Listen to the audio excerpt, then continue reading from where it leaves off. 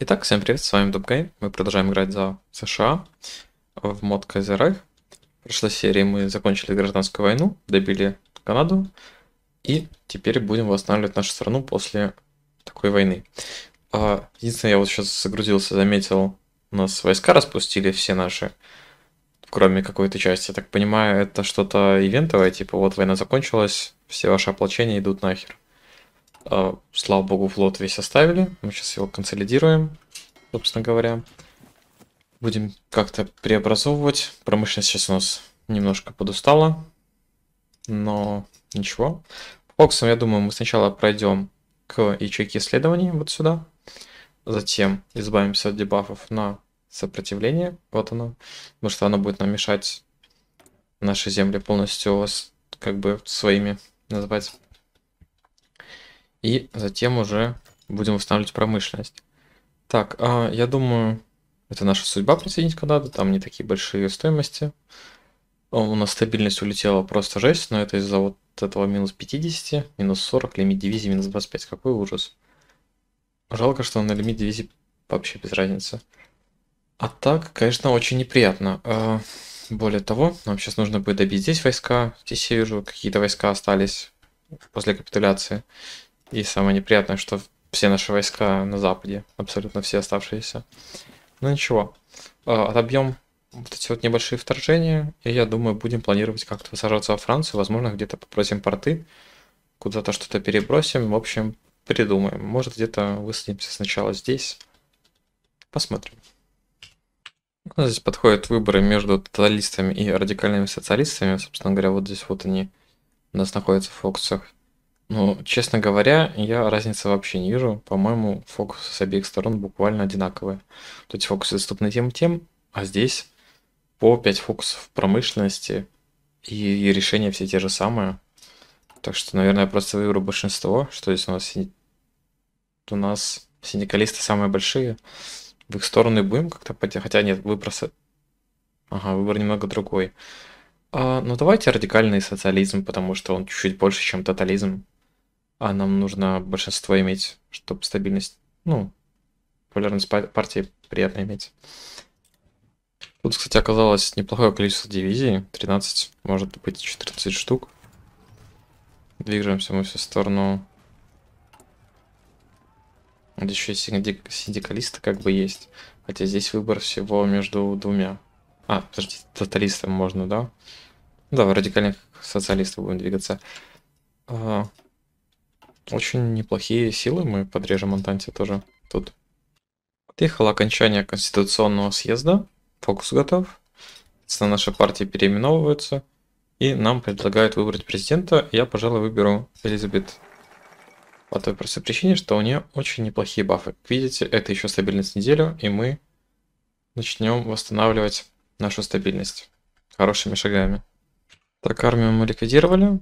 Кроме того, я заметил, что у нас есть решение необходимой демобилизации. Это значит, что нам нужно сделать вот этот фокус, иначе будут какие-то неприятные вещи происходить.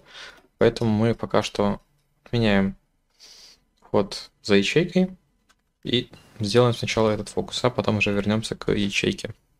А еще я заметил, что игра меня затроллила, удалила мне шаблон дивизии кавалерии, и у меня все... Я, я, я типа смотрел, у меня автотранспорта 2000 требуется, и не понимаю, куда. А оказывается, игра удалила мой шаблон и сделала новый шаблон и поставила туда на подавление моторизированную пехоту. Прекрасная игра работает. Кстати, во Франции что-то пошло не так, как будто. Но мы, кстати, как вы можете видеть, готовим выставку вот сюда. Мы запросим здесь проход у наших друзей. В Испании уже запросил. Здесь еще кого-нибудь попрошу. я думаю, сможем и так проплыть. Так, мы тут по... поодолжили некоторые порты. Испании, Аргентины и Франции. этого как раз хватило, чтобы нам достать до сюда.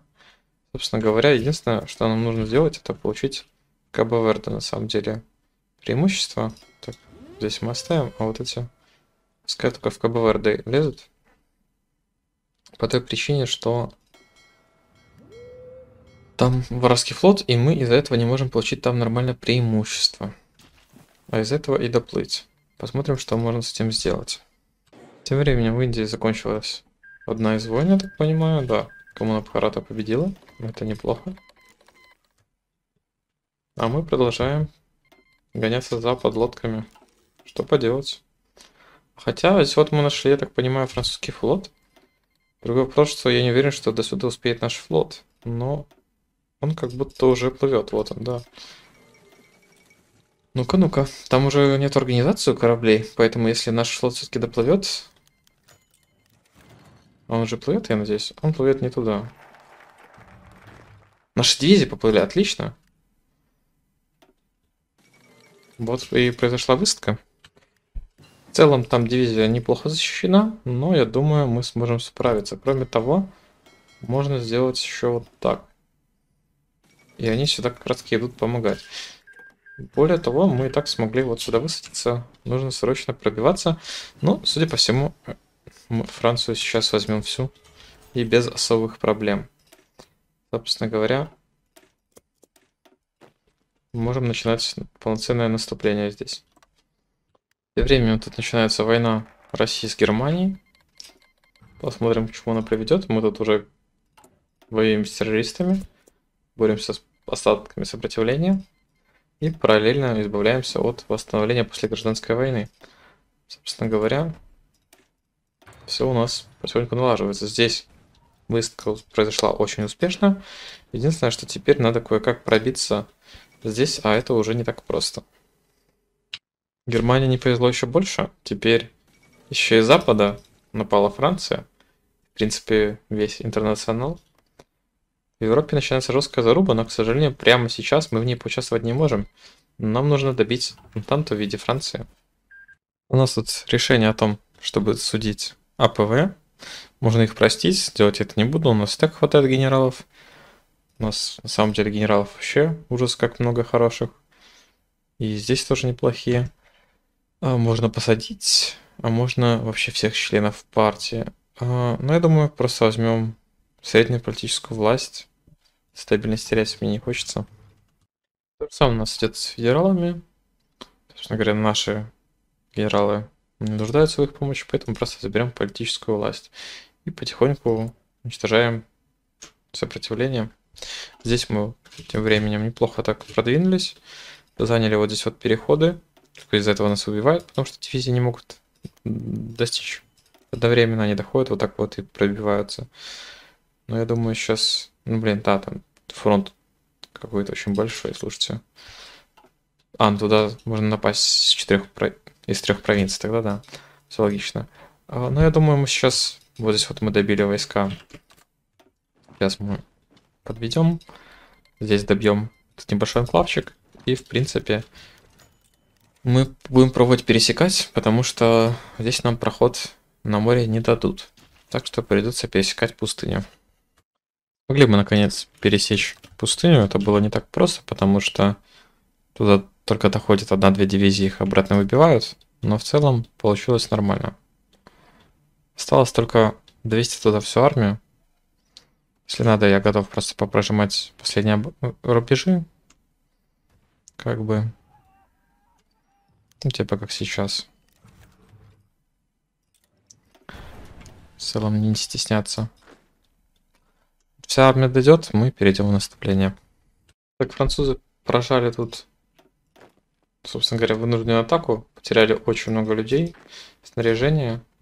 На самом деле мы тоже тут наши войска подбрасывали, потому что у меня не было э, очков, очков на рубеж, потому что у меня умер генерал Ивентова, который был фельдмаршалом, и мне срочно понадобилось нанимать нового. Собственно говоря, Теперь мы наконец-таки начинаем наступление. И отбросим их от этих пусков, потому что бегать туда-сюда, это, конечно, дикий ужас. А мы тем временем потихоньку качаем социальную революцию. Здесь, видите, прирост населения растет. Мне, в принципе, это устраивает. И затем мы пойдем либо по этой ветке, либо по военной посмотрим. А здесь Франция сдала Париж. На самом деле очень это меня расстраивает. Германия реально побеждает на двух фронтах. И, кстати, вот у нас сразу ивент. А, мы... А, нет, это ивент про Гавайи, да? Я полагаю. Да, про Гавайи.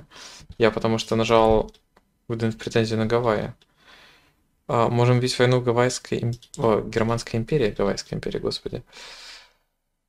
А, я думаю, прямо сейчас нет. Мы хотим сначала закончить здесь, затем какие-то дебафы добить и нормальную армию подготовить, потому что пока что у нас полтора инвалида в армии, и мы только-только подняли до расширенного, потому что у нас бросилось на добровольцев. Мы пока еще не готовы.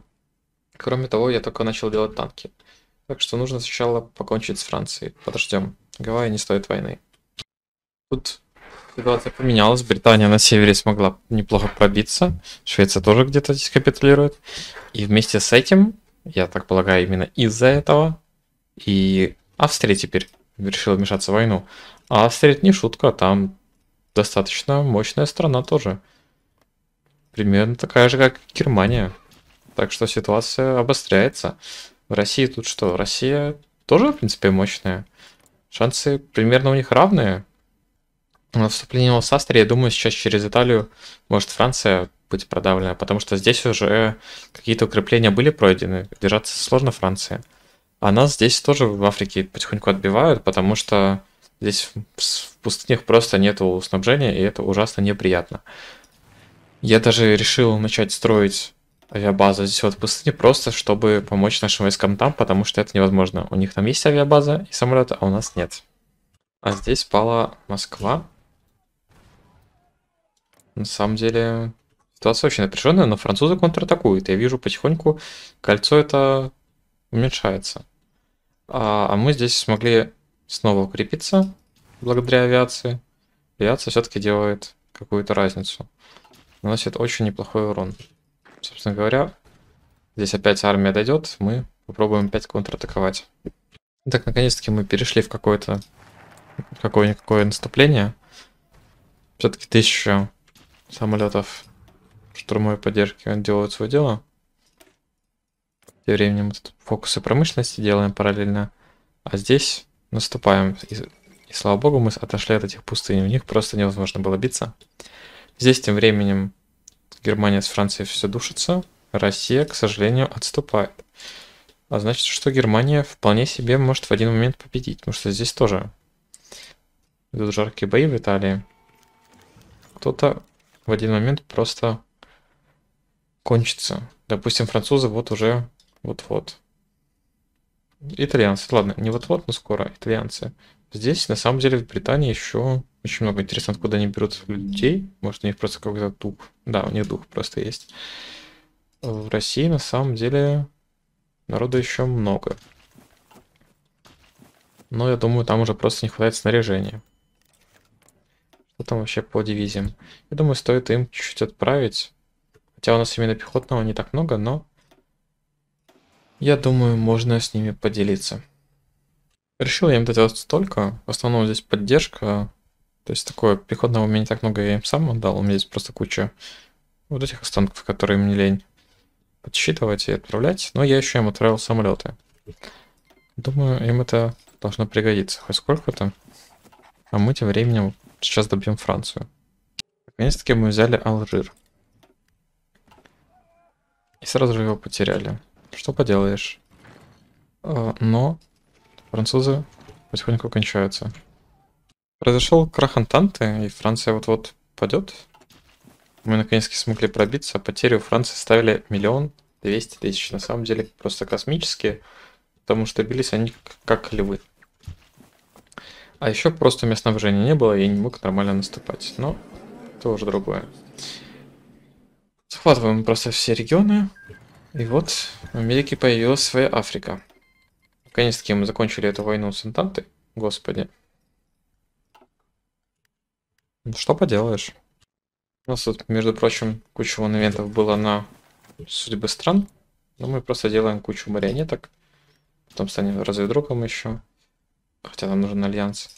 Ну и мы... Что нам осталось делать? Мы готовим выставку в Португалию. Поехала наша выставка. На самом деле здесь очень неплохо защищены границы. Не уверен даже, что мы сможем с первого раза высадиться. Хотя здесь вот, допустим, мы пробиваемся, но вот я не уверен, что этого хватит, чтобы помочь остальным. Типа мы можем, конечно, делать вот так. Но это очень лимитированная помощь. Нормально, под приказами нажал атаку рубеж, смогли выстоять, рубежом подзащитились. Теперь переводим сюда всех. Товарищи, вам нельзя сейчас случайно умереть. Вообще нельзя. Нет, авиация применяют. Ну, ничего. Нужно срочно помочь. О, две дивизии пропали. Ну что ж, везем из дома еще две. Самое главное, пускай доезжают эти. И стоит, чтобы такого не было, начать расширять фронт. У нас уже здесь исследование очень подходит к концу. И вот здесь вот я готовлю еще высадку. Видимо, я с нее людей убрал. Ну вот. Чтобы взять Панаму. Потому что Панама тоже в этом альянсе, а, та, а в нем теперь нету больших стран. Значит, нужно убить обе страны. Португалия сдалась. Смогли мы ее выбить.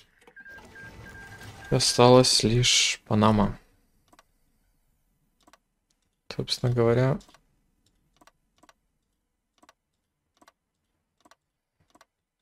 будем пытаться выбить ее следующей выставкой. Кроме того, я решил тут подкинуть ленд-лиза, собственно говоря, Франции уже. Немцам засылают ленд но это потому что нам не хватает ПТО и танков. В принципе, мы уже в плюсе по ним. Тут пока что ситуация какая? Во Франции фронт консолидировался, Франция смогла отбросить немцев, но и на севере немцы отбросили британцев. Россия вроде как более-менее стала на каких-то позициях, вроде сильно дальше не отходит. Так что не все потеряно. Я думаю, как только мы разберемся здесь, сможем помочь, мы сразу же попробуем помочь. Поехали мы высаживаться. У нас здесь есть поддержка авиации. Единственное... А нет, все, мы уже достроили базу. Поддержка авиации, поддержка флота. Без проблем Панама отлетает. И на этом, наконец-таки, мы можем закончить серию. Разбили мы Антанту, раздробили мы Францию. Теперь в следующей серии, я думаю, мы будем заниматься Европой, потому что здесь очень такие плотные блоки. В принципе, в Африке, я так понимаю, у нас тоже будут, будет фронт. И в Америке здесь тоже есть Гаити и Бразилия. Возможно, мы им тоже займемся. А с вами был Дубгай. Все как обычно, ребят. Подписывайтесь на канал, ставьте лайки, комментарии. До скорых встреч. Пока.